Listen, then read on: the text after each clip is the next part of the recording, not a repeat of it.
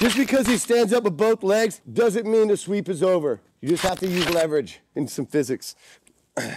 he stands up, underhook the leg, he stands all the way up. I go to do the sweep, he stuffs me. I just grab this leg and drive him forward to where he's weak. And then one here. And then I once I get my S mount here, it's like a modified mount, the S mount. I let go of this leg and I switch to the arm so I can get this grip. And then I bring the leg over and then I sit back. I don't sit back in a hurry. I don't sit back and then throw the leg because he can stack me.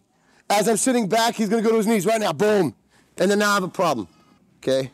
I wanna keep him stuck on his back, then get the position, and then I sit back. He stands up, I hook the leg, it stands all the way up, I go to sweep, he stuffs me, I grab this, I sweep him anyways, and then I sit up to the S mount. I let go, getting the arm here, I'm reaching deep, and then I get my grip, leg over, then I sit back. If he tries to come to his knees, I flatten my back out. See? And then I have the arm bar.